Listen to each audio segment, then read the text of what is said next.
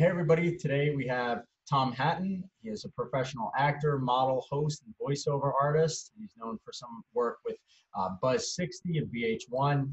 He's interviewed numerous celebrities, including Julianne Moore and Seth Rogen, and he's appeared in some global commercial campaigns for companies like Dentyne, Budweiser, Microsoft, and Louis Vuitton.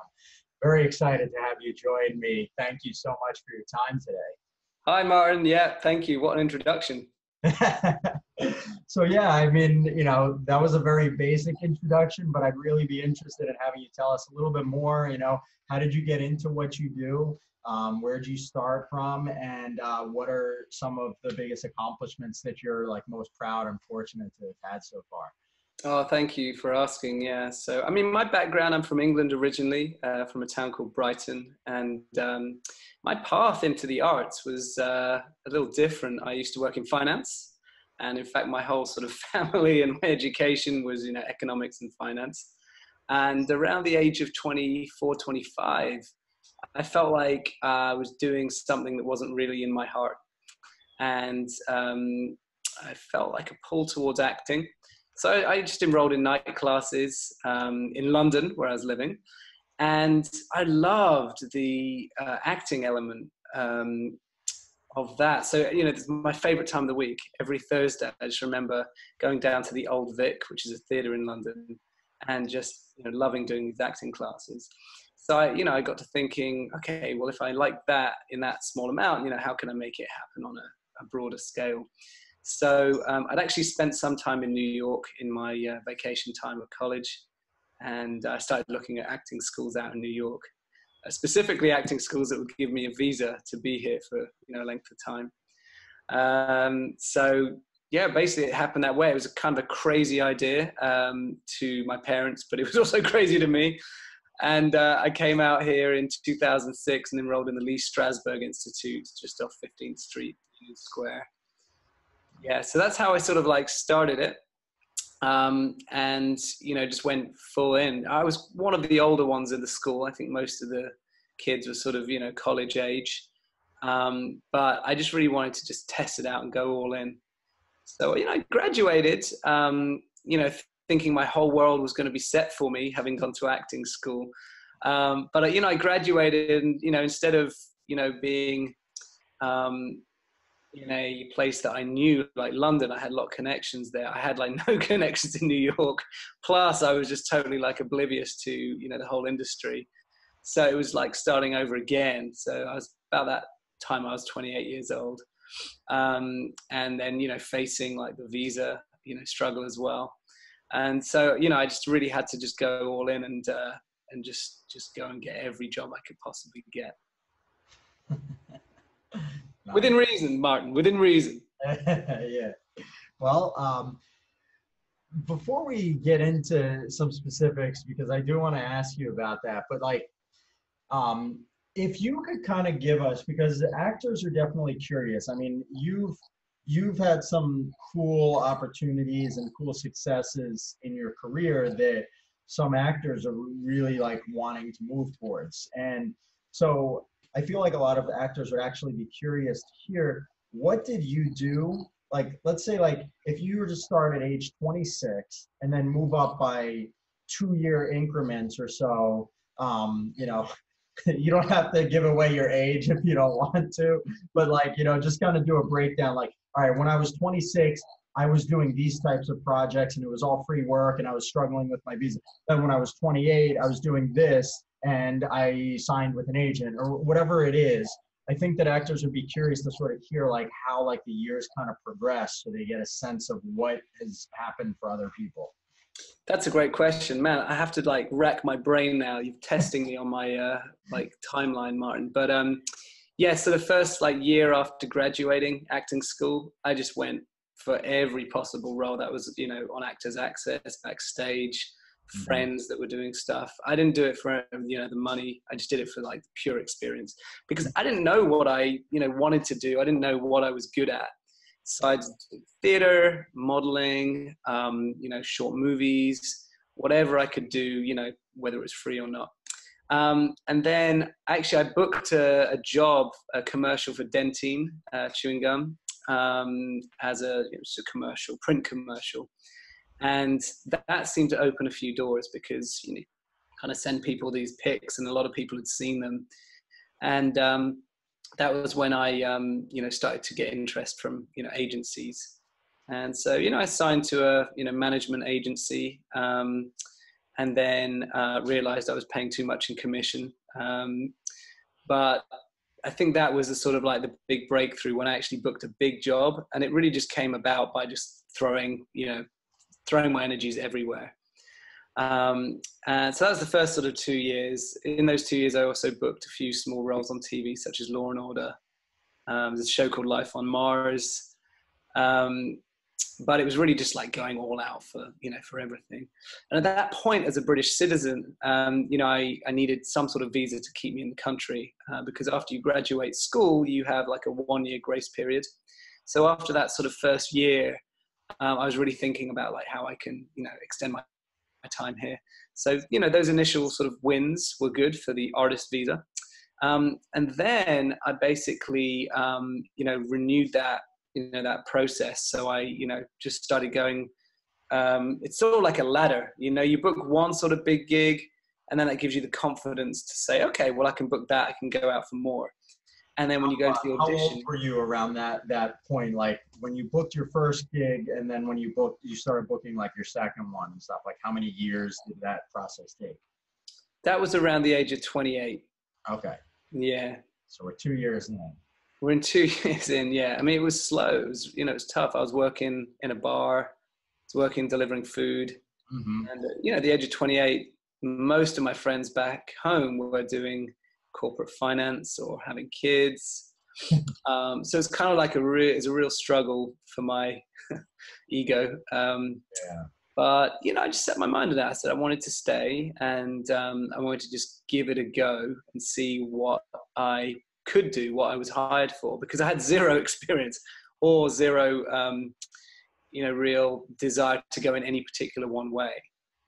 It was all just, a, you know, it was kind of like a game at first. It was like, man, who's who's going to hire this guy?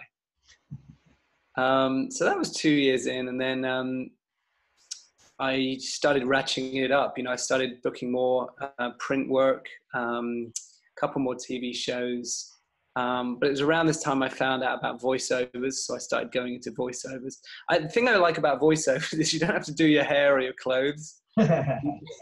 you can turn up, and it's often one audition, right? They don't do callbacks often for voiceovers, so you can, you know, go in, record. If you do it well, they hire you, and it's around the same rate as um, you know TV on-camera commercials. So I started getting into that a little more. Um, booked a, a, big gig uh, for VH1 um, as the this sort of like the man in the sky. You know, they have these like announcers, award festivals, award ceremonies. Um, so I was that guy.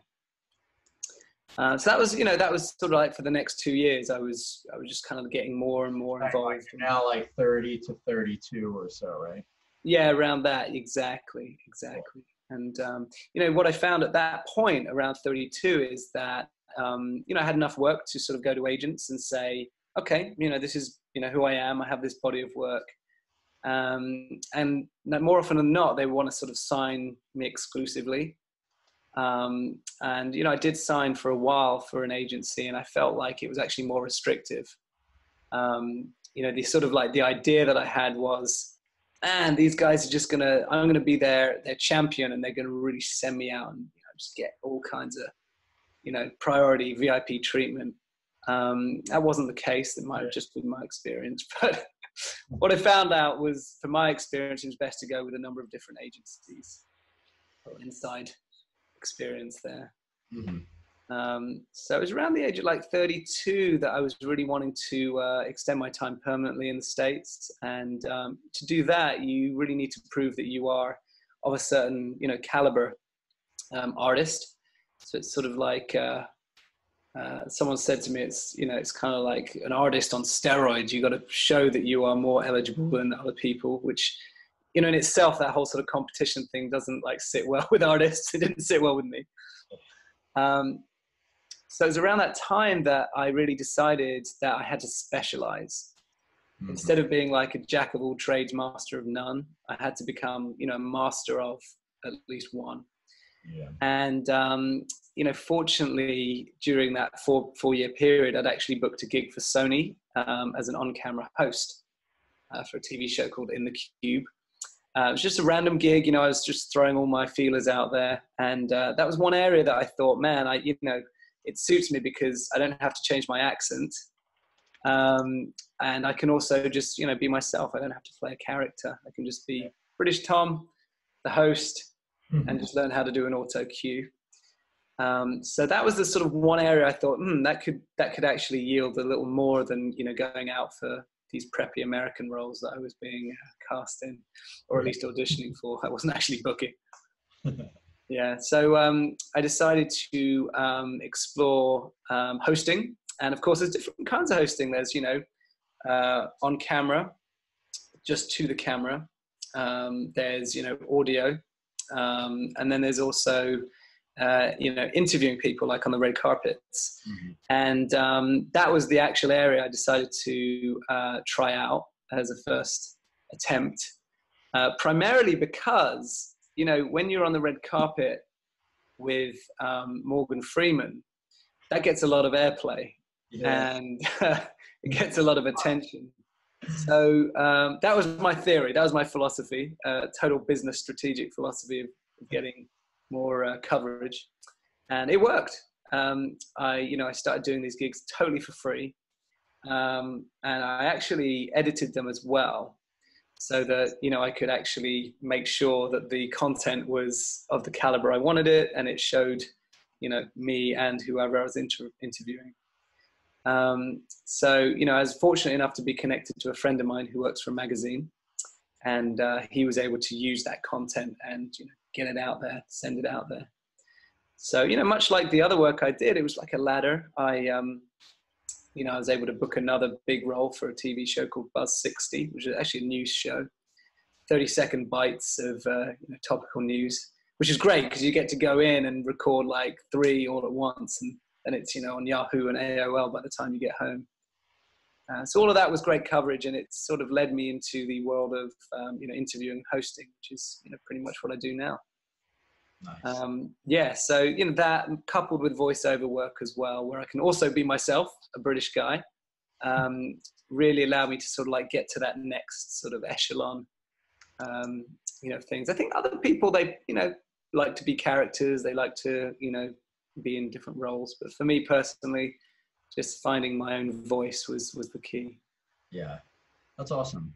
I, appreciate you explaining this uh, process. And, you know, it could be said like, you know, it's a good decade long process. I mean, I feel like in general, they say like it takes at least a decade of hard, focused effort before you get to a place where you're really respected in your field and you're starting to get recognized.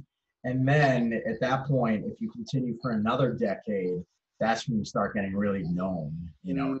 Mm, Um, mhm. so that's that's pretty cool. I mean, you're you're kind of moving up the up the ladder. I do have some specific questions that I wrote down while you were talking. Um, Okay. you know, you I think that going into detail on each of these questions is going to be really really valuable for actors. You mentioned something uh, that you got very very specific or targeted and said, you know, you don't want to be a master of nothing and and like you you know it's bad to be a jack of all trades. Um, so the whole idea of like branding, finding your type, or figuring out whatever it is that you want to focus on. Obviously, like you know, if you try to do everything for everyone, I love the, quote. You've probably heard of it. Uh, he who trims himself to suit suit everyone will soon will himself away. yeah.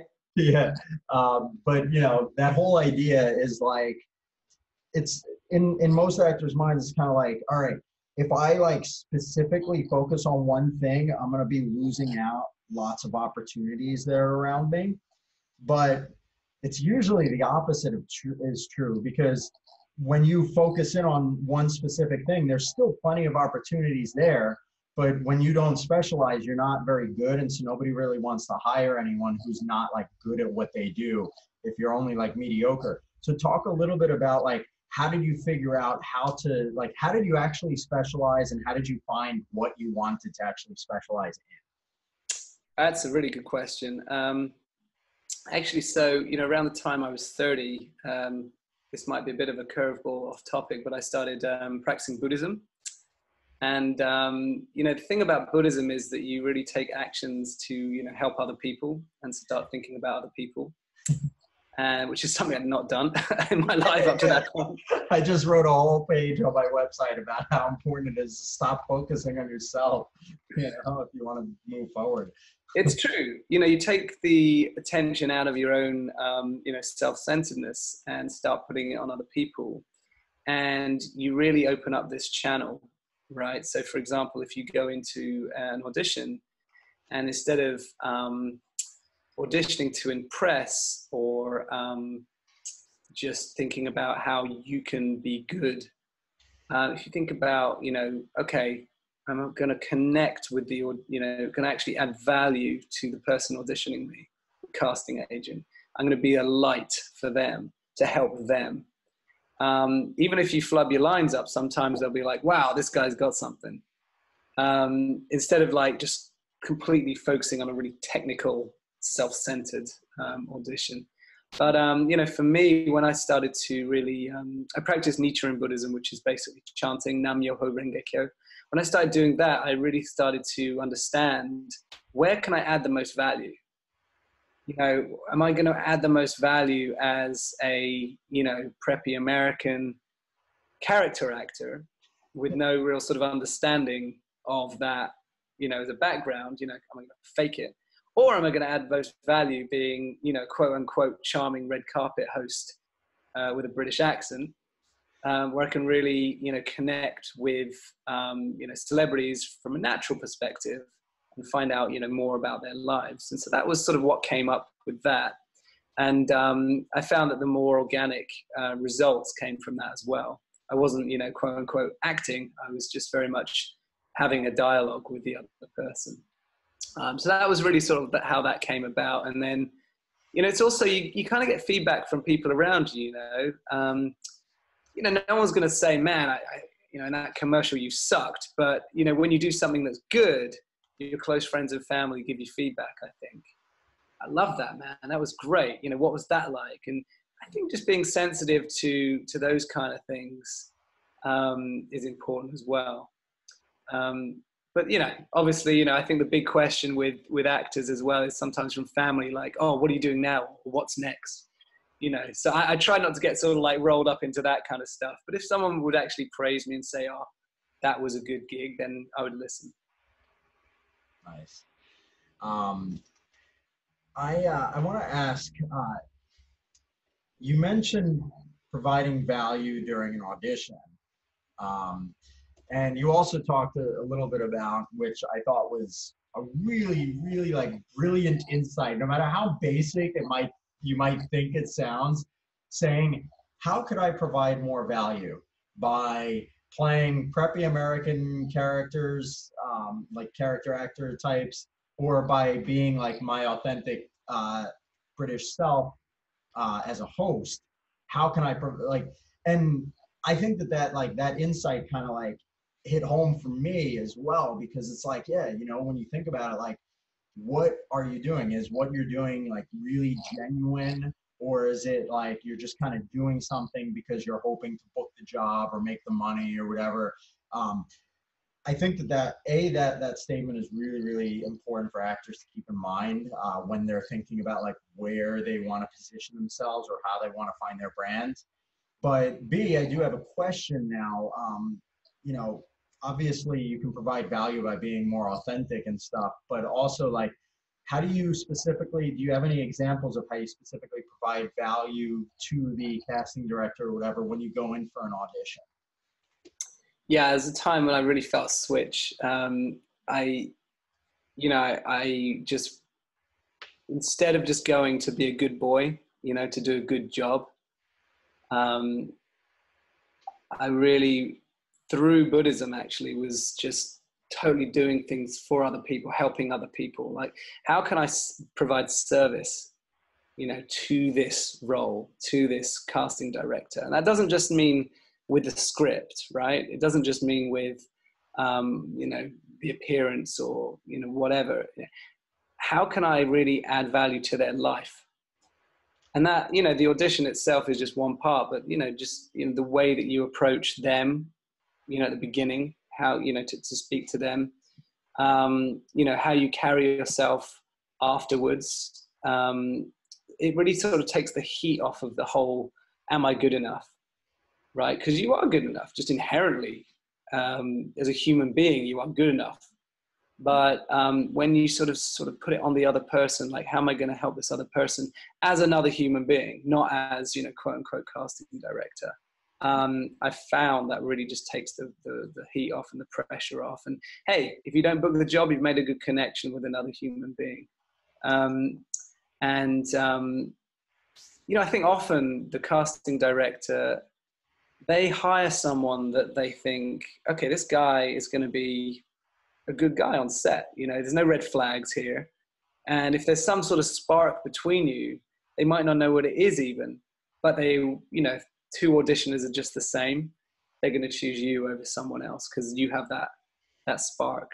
Yeah, I did an interview with Mari Lyn Henry, who wrote the book uh, "How to Be a Working Actor." Um, mm. It's like a really well-known book. It's on its fifth edition or whatever. She she co-wrote it, um, but in the book, she specifically talks about exactly what you're saying because she's a casting director, and she's like, I mean, especially for for TV shows and and you know uh, theater shows, they're gonna have to work with you like day after day. If it's a commercial or something, it might be a little bit less of an issue to hire someone who might be slightly difficult because it might only be one day of shooting. But like anytime that you're gonna be on something with people for more than like you know certain period of time, they, she said that they almost always will pick the actor, even if there's one actor who's amazing and perfect, they're to pick the second best per- person if they're easier to work with and, you know, friendlier. And I like what you said about like, you know, it's really how you leave people feeling at the end of the day. Um, you know, you can provide value to people. Like some actors might be thinking like, oh, what am I supposed to do? Like come in and like offer the the casting director that like, oh, uh, you know, if you if you hire me, I'll promote the film out to all my social media followers or something. But that's not necessarily the case. Lots of times they don't care about that unless it's like maybe some independent small production that needs promotion. But like the casting director just wants to feel good.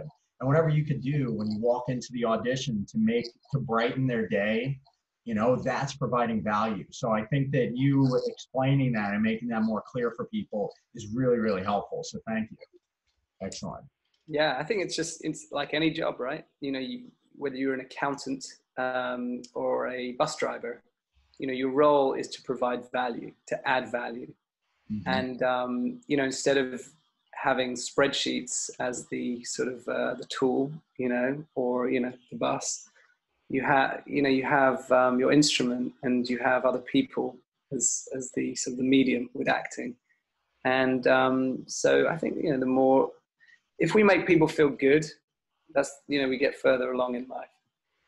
You know, totally. it's not just about you know happiness is just for oneself is not real happiness. You know, it's it's got to be shared. Yeah, yeah. I mean, and if you somehow sneak your way up to the top, you know, I mean, unless you've got something mentally wrong where like you don't feel any remorse, you're going to feel like really awkward inside for a long time and you won't be able to actually enjoy the success that's come to you. I think, you know what, I think that's really true, Martin. I think appreciation is just, you know, one of the key things in any endeavor. And, you know, um, in this acting industry, it's just such a obstacle laden world, you know, and it's almost like you got to go through a rite of passage, I think, to, to have appreciation. So those actors that have really done it and gone through the fire, so to speak, and come out the other side, you just sense in them like such a great sense of appreciation. Totally. It keeps them doing it, you know, keeps them doing it.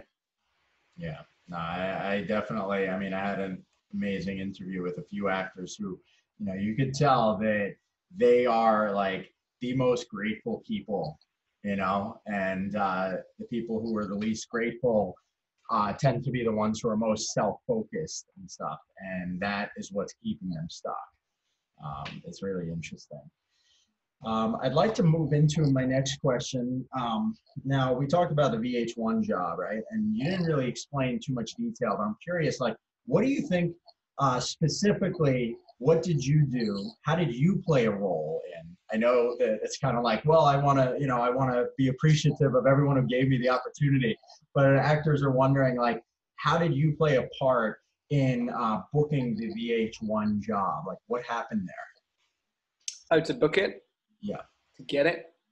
you know, it's from an agency. You know, most of the big uh, clients now they go through agencies, and um, it was a, it was actually it was a voiceover, so it was an announcer role for a big um, event. It was basically their their um, award ceremony, and um, you know, I mean, I I'd like to say it was a big master plan of my uh, you know own creation to book that job. But you know frankly at the 11th hour they decided they didn't want an american voice. They wanted a british voice. And you know they didn't want a sort of uh, you know ford car commercial voice. They wanted a young aspirational voice and um, i guess right place right time. Yeah. um, but you know i just remember i actually really wanted the job. I wanted the job and i knew i was the right fit for it and um, I just went in there with confidence. It was sort of like a fusing of all these different things that, you know, if I could bottle that, then you know, I would be living in a uh, you know penthouse apartment in uh, you know maybe Beverly Hills. But it's just one of those things, you know, you just keep trying, keep pushing doors. One one one of those doors is going to open. Um, that was a great gig. It was phenomenal. It's you know you're up in this sort of booth in a you know the Hammerstein Ballroom and you, you got the TV and there's one button that says um, uh, live and another button that says producer. And you know, producer means you're talking to the producer about what's coming up, and the live means it's live, coast to coast America. Um, so you got to make sure you get those buttons right. Um, and then um, also just be of service, like you know, just following you know script and really just being on point. And um, I found like you know, after you've booked the job, it's like it's it's plain sailing from there. You know, the audition and the booking is the hardest thing. Um, the job is, you know, you look right, you sound right, you move right, and it's just you know servicing, you know, whatever the product or the the role is. When you were going in to get that job, I know you talked a little bit about confidence. I'm just curious, uh, what what would you say was your confidence level that you like the job was perfect for you and you're gonna walk away like having that job? After the audition you know i normally have a sense of whether i'm in the running or not. Mm-hmm.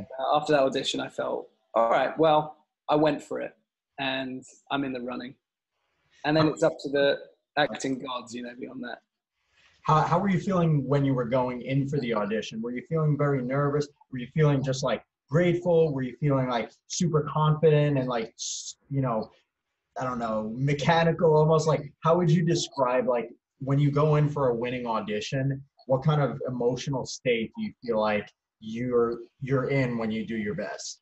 You know, that's a great question. I think in the zone is the best way to describe it. In the zone, you know, you're not you're not too relaxed where it's just sloppy, and you're not too tense. You know, you're not sort of like too eager; it's, it becomes tense um, so I think you know, focused in the zone. Um, a lot of it has to do with I think the the casting director. You know, if they, if you have a connection with them, they they're more willing to work with you. Probably did a couple of you know different runs at it in different ways for them to kind of get a feel as to what I could do. Mm-hmm. Nice. I wanted to ask uh, about the red carpet uh, stuff that you were doing. Yeah you mentioned that you were doing that for free. Is that correct? Yeah, absolutely. Yeah, I would hire a cameraman. I would um, edit it, and I'd do the actual gig. And uh, yeah, no payment. Let's talk about this because this is really really cool. This is something that's like outside of the ordinary, you know. So, how did you set this up? What made you kind of come up with the idea like I'm going to hire a cameraman and I'm going to go there how did you even like have the confidence to go in there? Like, did you have like a pass to get in? Like, what, what situation? How did you do this? Yeah, you know, I had my back against the wall. I needed my uh, needed my uh, my my star to be uh, you know big on Google. So I was like, how am I gonna how am I gonna get exposure?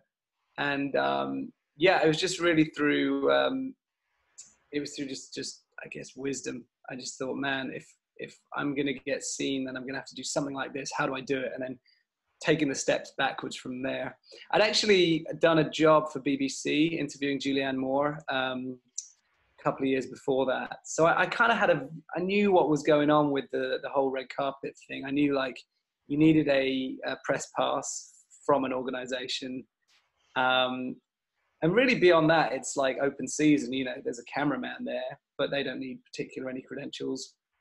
Um, you got that pass, you're on the carpet, you got a microphone, you look the part, it's it's good. So, you know, I hired a friend, um, had a small budget that I'd set aside for this. You know, hired a friend, paid him, um, and I, I met with a um, a guy that I had a small connection with who runs a magazine, and so they were looking for video content and.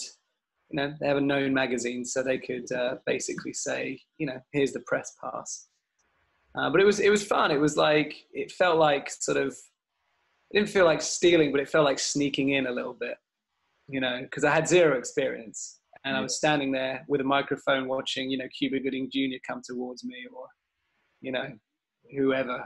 Um, so I just had to kind of roll with it, you know. So, uh, all right. Um, I think I missed one part. You talked a little bit about that you worked with a sort of somewhat unknown magazine, right? you said that you approached the magazine with the offer to give them footage from this this red carpet thing. That's right. That's right. Yeah, went in with a game plan. All right. So first off, any actor who's listening to this needs to take note that like this is somebody who is, you know, a, a go-getter. You know, you like you go out there and make things happen, and you kind of create your own reality in a sense. Um, and you know, obviously, like I'm not trying to make you feel uncomfortable or whatever by saying this, but like, I just think that it's so cool and so important for actors to keep that in mind that they can create their own reality. They just need to have the confidence to, to believe in themselves. And one thing that I've realized in like the past, I don't know, just like month, it was really interesting. I had this sudden like revelation. maybe it's not true, maybe it is, but like the most successful people that like everyone knows about or that like reach their like ultimate goals um, tend to be the ones who have almost like 100% confidence in everything that they do um, and they like go out there and i feel like we can all go out and do the same things as these people who have become ultra successful if we wanted to but where we've got like fears and like insecurities about like whether we would actually be able to do it. And so really what's actually holding us back is sort of our own psychology. You've just basically proven that you don't have to be a host to be able to create an entire hosting career from nothing. You can go and find online, you know, news places, email them and be like, hey, this event is coming up and I would love to uh, go to the event for you for free, uh, do some stuff interview these people, send you the footage. So you're providing value to this place, and this place already has exposure. Um, and so you can get yourself exposure by doing it. But a lot of actors might feel like, um, I'm not comfortable doing that because I don't have the experience. And you kind of just pushed past your fear and made it happen. And you basically created an entire thing from nothing, which I think like is really like amazing. So props to you on that. That's really cool. um, so I want to I want to just kind of talk now uh, a little bit more about hosting um, and just kind of ask you like you know besides this idea of like randomly going out and starting to create your own projects um, like that are there any other ways that actors who might be interested in hosting can get into it Oh, that's a good question. Um, yeah, you know, they could create their own content. Um, you know, YouTube's a great, a great forum, but um, I think that um, you know, it's two two kinds of um, approaches with hosting, right? There's the face to camera, which is you know the sort of auto cue um, reading, and then there's you know the interview.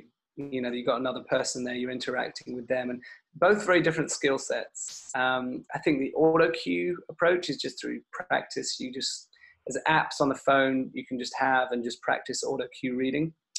Um, for the, you know, the, the one-on-one interviewing, which is what you're very good at, Martin, um, I think improv classes were fantastic for that. Um, there's some great improv schools um, in most major cities, and just doing that really just kind of made me feel confident, and then also able to think on my feet. Because um, yeah, a lot of the time you're on the red carpet, and there's there's people walking towards you. You haven't got a clue um, about who they are, right? Um, you're like, oh man, who the hell is that? But you you got to think on your feet, and you know oh, okay, so, you know, tell me about the project. And they'll tell you about the project. And then, oh, what's coming up for you next? And, you know, the last question is like, I'm sorry, what was your name again? Um, but, but uh, so, yeah, improv 101, you know, improv 101 was, was incredible for that. And then, you know, moving up to, you know, the other classes. Um, I, you know, I can't sort of provide too many specifics of of other ways because that's you know just my experience my path. But i would generally say that i had a goal. My goal was to get exposure and i had a desire to do it and then i just worked backwards from there. And the wisdom that came up was just very much working backwards from the goal. Yeah. Um i i, I think it's you know really smart. Like I mean, I, I, always recommend to actors to do sort of like a career assessment at least once a year. Um, once every six months is even better because a lot of actors, uh, pretty much anybody, I mean, anyone in any sort of goal winds up getting stuck at a point and they don't realize that they're stuck. Time just kind of goes on and you delete, delude yourself into thinking that you're progressing, but really, like me, going to the gym, I realized after like a year and a half that I had relatively been lifting the same weights for the same number of reps. And I had always been wondering, why am I not gaining more muscle or whatever? And it's because I hadn't been progressing.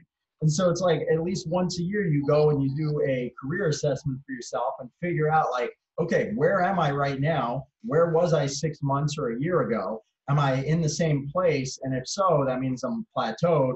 If I'm not, great. But even on top of that, like when you're doing your career assessment, you're like, well, what do I actually want? Very specifically, six months to a year from now. And then once you have that goal, you like you did, you kind of be like, all right, well, what are all the possible things that I can do to move there? And how can I organize them and cut out the ones that I think will be useless? You know, which like 20% will give me the 80% of results and how can I start implementing them as quickly as possible? I completely agree. You know, I think that you could sit around waiting for that phone to ring, right? For that perfect job. Mm-hmm. Or you can mm-hmm. go out and have fun and try and create stuff. Yeah. I think when you start getting the momentum, um, that's when that phone does start ringing. Yeah, it's it's awesome. I think it's just really cool. And one question that I would want to leave uh, and leave actors with at least, or maybe even ask you if you know the answer. I don't know the answer right now to this. Um, you know, you use this strategy for for hosting, right? And red carpet stuff, which was I'm going to create something that will be of value and I'm going to give it for free to a place that has exposure already so that I can kind of catapult myself forward. Now, how could an actor use that same strategy, which is brilliant, to, to do either like film acting or commercial stuff or theater? Are there, you know, ways? It's a good question, and whether or not we come up with an answer right now doesn't matter as much as like leaving actors to think, is there a possibility? Because I'm sure that there's something that you can do, you know? I, I, you know, I can share my thoughts. This is not the definitive answer, but yeah. I think it depends on your goal. You know, my, my goal was to get exposure, and it, you know, because of you know my visa, because of um, you know that was my situation.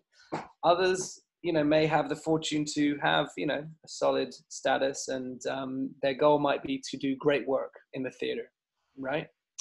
So how to do that? You know, I would say that just intuitively, you know, align yourself with great people, you know, great teacher, great workers, you know, um, and I think you know when you have that clear goal, you can just kind of like backtrack. But maybe, maybe, maybe I'm just thinking that some actors don't have a clear goal of what they want. You know, maybe their goal is, well, I'll just go out there and see what I get you know, which is kind of short short termist. Yeah. Right. Um, yeah. So that's that's that's my thoughts. Clear clear goal, and it could be whatever makes you excited. You know, if your goal is, man, I just want to be on TV, I just want to turn on and my mum to see it, right? That's a fair goal. If that gets them excited about it, that's a fair goal, whatever gets your juices flowing. You know, others might be, I want to be at an award ceremony, I want to pick up an award, which is, you know, quite a long term goal.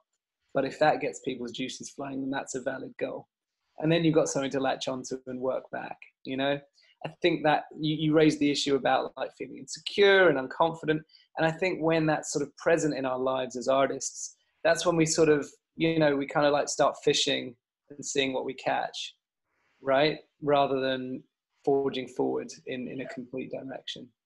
Yeah, yeah, totally. I think that's a really good thought to sort of, you know, be wrapping this up with is, you know, if you're feeling uncomfortable, um, chances are you're also not hyper targeted on a goal. So reassess and see like, do I have a very specific goal? And if so, when when do I think I can achieve it, and how, how do I get there? And you'll just start feeling more confident again. Um, so I'd like to ask you a final question, uh, just is there anything else that you know you feel like would be valuable to leave actors with, especially those who you know might be just like, oh, I love the information here. What do you have any other cool, valuable insight to share with me? You know, anything like that. I, I would say like gain a gain a sense of appreciation for others in the world. To to get connected you know whether it's through a spiritual group or a sports team and it's so easy to get locked up in our own junk as artists. Part of the creative process is del- delving deeper. Acting is lonely right? So when you connect with people it helps. Exactly you know here both of us are sitting in our uh, you know re- relative abodes and we're on our own and you know after this i'm going to make a tea and you know it's going to be solitary. But i think that the key is like it's exposing ourselves and getting connected and the more we can expand that sense of appreciation for other people the more we actually do open up a space to find ourselves and our true artistic ability. Yeah that's awesome. Yeah i, lo- I love that idea you know join try try just connecting with people in, in a group or some sort of spiritual thing anything that will help you. Um, yes that's once you start feeling grateful and appreciative it's just like the stress levels that you have that kind of keep you stuck in your box. They start to like, you know, melt away. And then you feel like, oh, more things are possible for me because I'm not like crunched up into this ball of stress. That's really cool. Awesome. Well, this has been amazing. I really, really appreciate your time. Um, we've talked a lot about a lot of valuable things. I think that actors will have some really cool insights both on hosting and potentially how to use that strategy that you were talking about maybe for something else you know? And i'm curious now to think of things too. Um, but i just really want to thank you on behalf of everyone who listens to this. Uh, really appreciate it. Oh, it's been a pleasure martin. Thank you for letting me uh, for giving me the mic. No problem